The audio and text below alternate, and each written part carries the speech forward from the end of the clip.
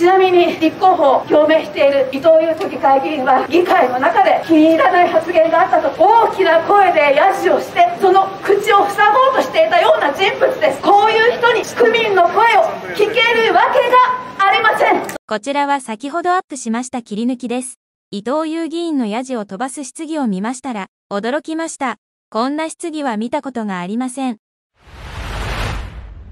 青柳議員えっとえーまあ、専門家の方からは IRT 処理は違うテストを受けても一人一人の人が、えー同じ結果になるようにするために標準化する透過するものだということです、まあ、例えば英検2級を取っていた人が別の英検の別の試験を受けても2級となるように、まあ、処理をするというものです、えー今回この INSATJ、えー IRT 処理したと聞いておりますけれども、えー専門家の方によりますと IRT 処理の仕方は2つです、えー投下したい、えーそれぞれの試験に同じ受験者を入れる方法ともう1つはそれぞれの試験に同じ同じ問題を1問入れるかませるわけですね。そして、えー投下できるということでありますけども、えーと先ほど前半後半の平均点、まあ、少し、えー違ってたようですけども、まあほぼ一緒なんですけども滝沢部長えー全体は同じ条件のもとで行っています。委員長。青柳。議員えっと、前半後半あ全体を処理して今度その処理された中から前半の方と後半の方をの平均点出したということですか？それでいいですか？え分けて平均点出さないと点数違わないとないですそれとも一緒にしちゃったらそれははあの前半後半の違いを測ってないということじゃないですか？滝沢部長あの IRT をかけるということと前半後半後半のスコアの平均を比較することとは、えー別の問題ですので、えー全体でえースコアを出してそれぞれ前半と後半のスコアの平均を足したら先ほどお話しした数字になったということだけであります。青柳議員が追及しているのは、こちらの問題についてだと思います。都立高スピーキング試験では IRT を使うと表明されているけれど、単純な素点の合計やその圧縮以外の操作で入試の得点や評価を得るという方法自体がほぼ前代未聞なわけで、どういうモデルや実施体制か事前に監査すべきだし、民間企業だからそこを秘匿したいというのなら試験そのものからの退場しかない。後々になって実は IRT など使わず素点の合計を正規分布になるように補正しているだけでしたとか、IRT を使っているが、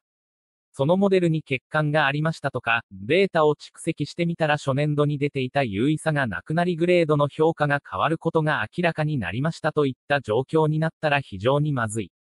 つまり都立高校のスピーキング試験の採点方法が、不明瞭な点を追求しています。青柳議員。えーそうせだからそうですかって聞いてるんですから簡潔に、えー答えていただければいいんじゃないですか、えー、と私はそうこそういう質問してますから、えーと投下された、えー点数ですので、えーそういった、えー平均点を、えーこうちゃんと前半後半の方を分けないと、えー出ないというふうに思います。えーそして次にちょっと邪魔しないでいただけますか？妨害しないでください。えっ、と11月27日の試験と12月の追試の試験は投下していますよね。滝沢部長えー IRT をかけます。青柳議員はい。えー、投下しているということです。11月の試験の平均点は60.7点で、12月19日の予備日の試験の結果を加えた平均点は60.5発表されています。11月27日の受験者数は6万9590、あ、ごめんなさい、6万9529人、12月19は1668人ですから、計算すると19、えー12月19日の追試の平均点は50あ52点程度になるということでありますけども、追試の方の平均点が低い理由は何ですか？聞いてたって全然おかしいの分かってるでしょ？分かってるでしょ？滝沢部長理解できてんの？ってさ、プロ当初だって、質問調整してか来てるんですよ、こんな280分持ってんだから。12月18日だと思います、2回。全然違うじゃない。平均点が低い、まあ、理由はその受験者の、まあ、結果ですので、まあ、その理由を私があのこの段この段階でお話をするという立場にはないと思います。受験受験層が違うわけですから、平均点が違うということは当然起こると思います。委員長、青柳、質問は明瞭に簡潔にお願いいたします。妨害させ、ちょ委員長、委員長が知ってんだよ。妨害するのやめてください。ちゃんと私は質問してます。委員長が判断するんだよ、それは。わからないからって、そうやって妨害するのやめてくださいと、わかんないよって。わかりやすく言ってる。一生懸命。わかんないからって喋ってたらわからないじゃないですか。に願います。初質問を続けてください。えー12月の19日の、えー平均点が低い理由はわからないけども、12月27日の平均点が高いことは、えー学力が、学力がみんながスピーキングテスト、えー頑張った成果だってさっき12月27日の理由は言ったじゃないですか。あ11月27日の試験は言ったと思いますけども、なんで後半のその追試のその試験の平均点、えー低い理由を言ってください。だって前半の本試験のは言ったでしょ？平均点が高かったのは経年で平均が高かったのはそれは子どもたちが頑張ったからだってさっき理由言ったわけですけどもこう追試の平均点が低いのは理由はわからないんですか？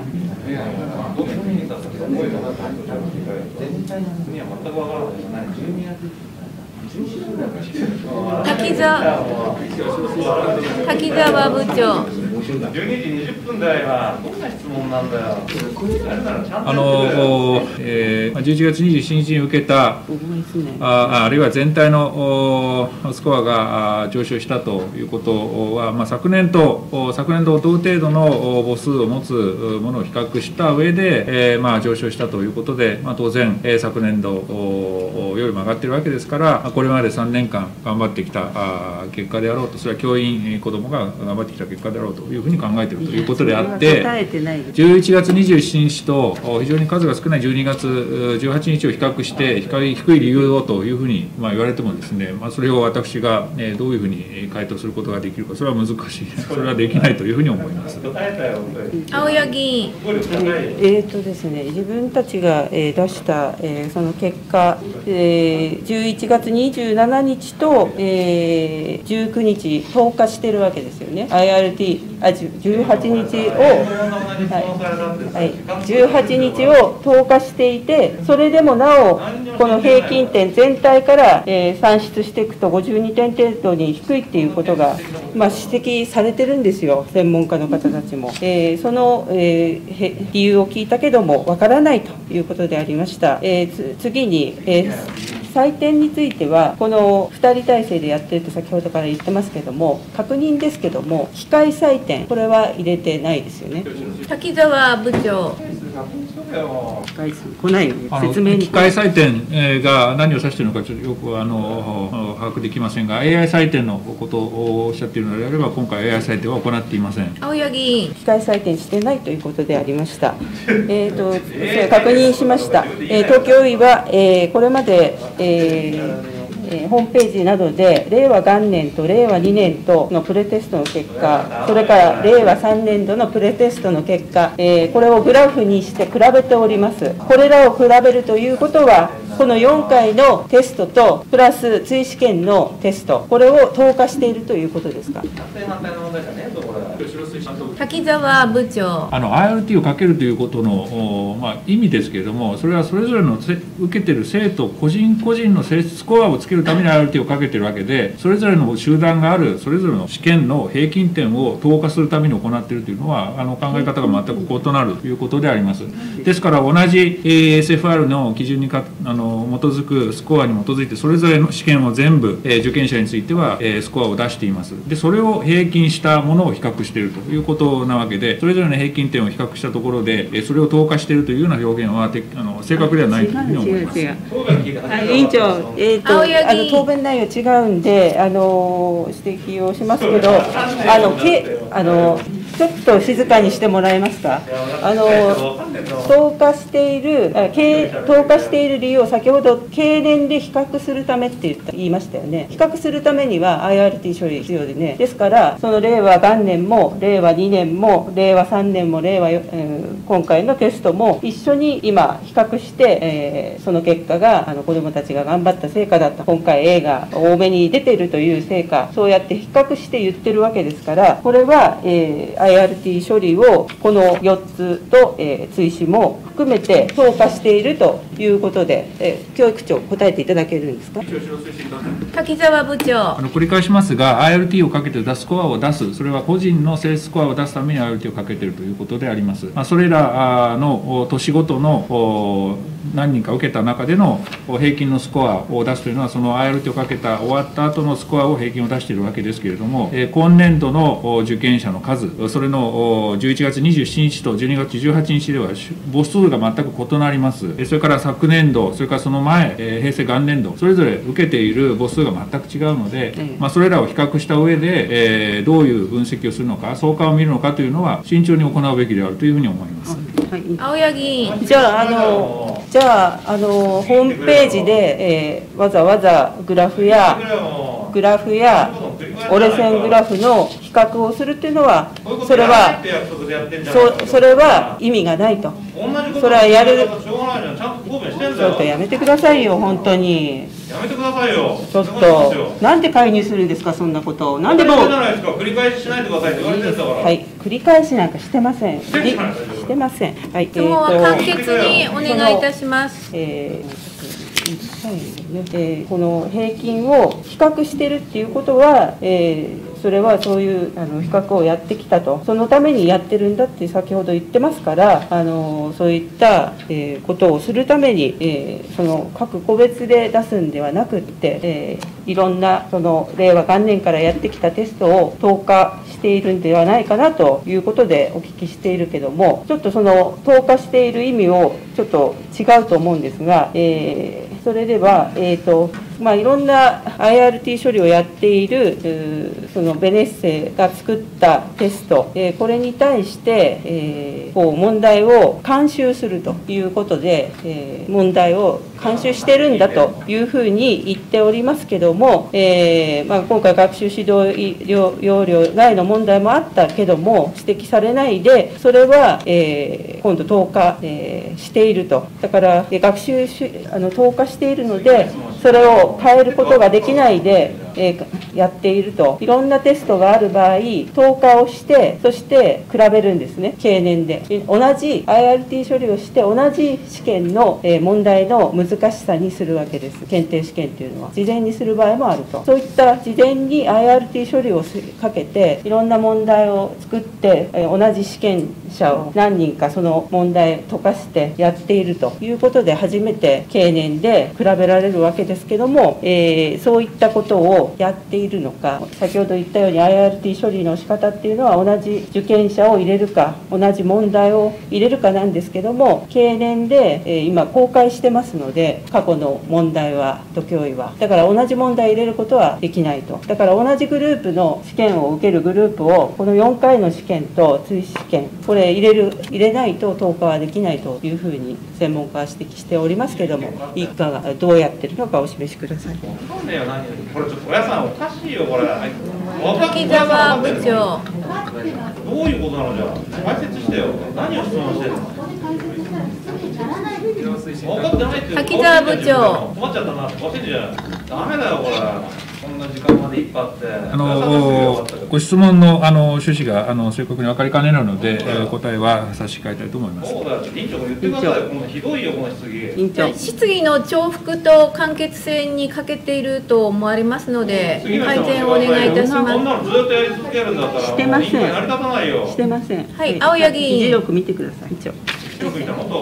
ー、とそれでですね、この、まあ、IRT 処理っていうのが、えー何のためにしたのか、そういった、えー今言っているご説明と一般的な IRT 処理が違うんですよ。だから、そういったことをしているということが、この監修をしながら IRT 処理をするということで、えーいろいろこう、まあ、処理をしてしまうと、まあ、監修していくとちょっと分からなくなってしまうのではないかと、まあ、ブラックボックスだというふうに言われているものもあります。えーそれで今回の先ほども言いましたけどもプレテストよりも、えグレード A がま大幅に増えるこういった分布になりました今回そして、えー、こういった評価、えー、になったのですけども ESAT-J はアチ、アチーブメントテストだから、えー、絶対評価ということでよろしいですか？滝沢部長。さっきの答弁で分かんないもんだって。誠実に答弁してやってくるえー、ESAT-J グレードに基づく評価ですので、えー、絶対評価で。青柳議員、まあ、絶対評価ということで、まあ、あの都教委もホームページなどで言っている通り A が全員になる可能性もあるそういうのが絶対評価ですけども都立学校教育長にお伺いしますけども都立学校高校の学力検査これは相対評価、えー、ですよね確認します。村西都立学校教育部長学力検査は得点順に順位をつけることにより選抜を行うという意味において、まあ、いわゆる相対評価ということでございます。青柳委員ですから、えー、アチーブメントテストは絶対評価で、えー、学力検査は相対評価ですから、えー、絶対評価である ESAT-J の、えー、結果は当日の学力検査に点数加算することできませんね。はい、村西部長。大変だよこれ。このために150個取ったの、ちょっと長引くからうるさいこと言わないでくださいよ。このために150個えー、選抜目的である学力検査と到達の評価であるスピーキングテストは試験としての意義、性格が異なります。従いまして、学力検査の得点としては合算しません。したがって、20点は学力検査の中ではなくて外出しでということでございます。はい、委員長えーとですね、青柳委員理解しております。当日の学力検査には入れられないというものなんです。ESAT-J は。アチーブメントテストですからね。ESAT-J の A がアチーブメントですから。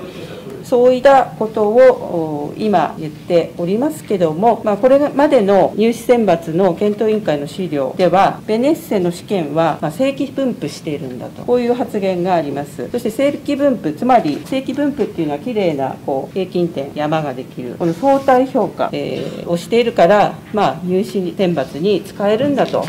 いうことを議論していると。この時はつまり、えー当日の入選券で令和4年まで当日の学力検査に点数を入れようとしていましたよね。村西部長、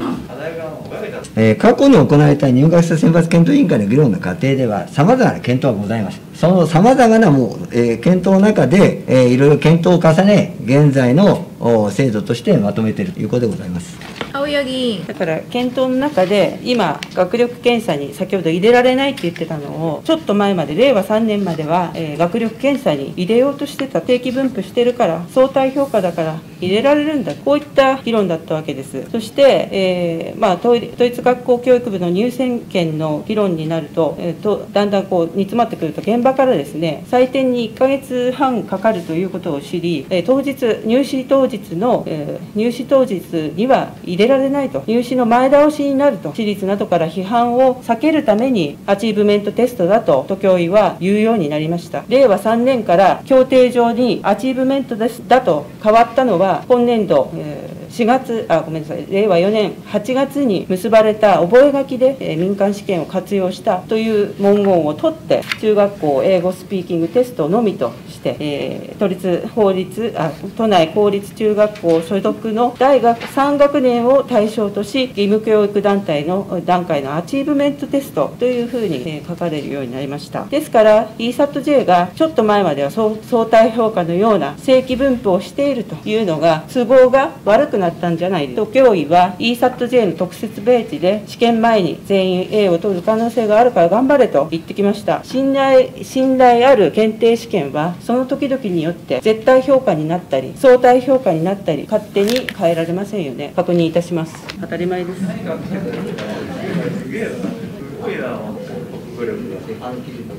滝沢部長あの相対評価になって絶対評価になったり都合よく変わったという指摘は全く当たりません、まあ、当初から、えーまあ、受験ではなくすべて受験つまり都立高校を入試としとして、えー、考えている人だけではなく、えー、全員を対象に到達度を測るために行っているわけですから絶対評価であり当初からセファールの基準を考えた上で絶対評価で行うということを考えているのであって、えー、今のご指摘というのは、えー、当たらないというふうに明確にお話をします。青柳議員。えーとですね、あのこの議事録見ますと明らかなんですね、えー、自分たちで、えー、これは正規分布していると言っていて、その後今度、絶対評価だと、全員が A になるかもしれないと、アチーブメントのテストになったら、そういうことを言ってるのは事実です。え、こういった、え、ことであの都合よくそういった処理をしたりすることできない、それはあのできないということであります、指摘をしておきます。えーとベネッセとの協定書についてですけども、委託ですか、えー、共同スキームですか？滝沢部長。東京委員会は事業者との協定に基づき本事業を行っております。青柳委員。